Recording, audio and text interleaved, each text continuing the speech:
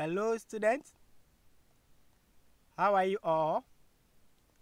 I welcome you back again to our topic in question punctuations. The last time we met, we were looking at some of the uses of punctuation marks. We were able to look at the full stop and that of the question mark. Here we are today, we are continuing with the uses of punctuation marks. The first one that you're about to look at at the moment is comma. What then is a comma? It is used to separate a list of names or items. What this means is that we use the comma to separate the items on a list or names. Let's look at some of the examples below. In the first instance, we have the sponge, soap, brush, and comb are in the basket. You see all the items listed in the sentence. Each of them is separated by a comma. And the last one, we use and to show that the items are about to end or ending. So you see the sponge, there's a comma, soap, a comma, brush, and comb are in the basket. In the second sentence, I have a pen, eraser, and one school bag. Each of these items are separated by a comma. I hope it is clear. It is also used to separate introductory clauses or phrases from the rest of a sentence.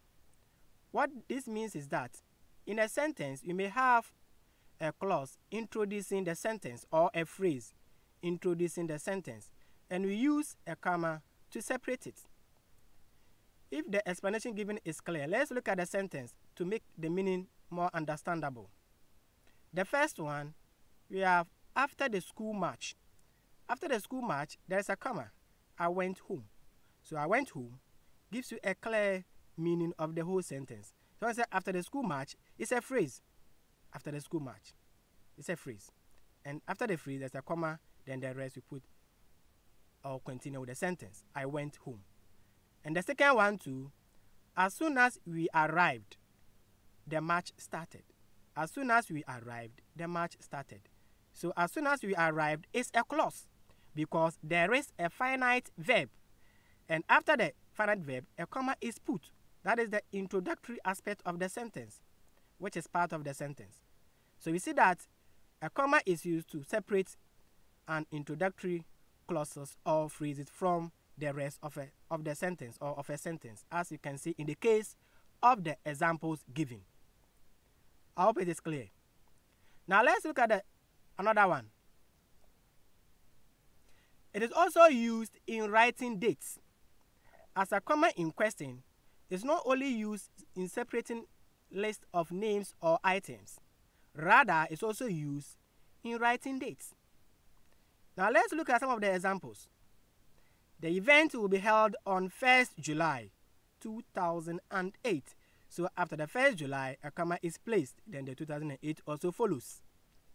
The second one too, Kwame will come to Ghana on 2nd May. A comma is placed. Then 2009 is also following. All it is clear.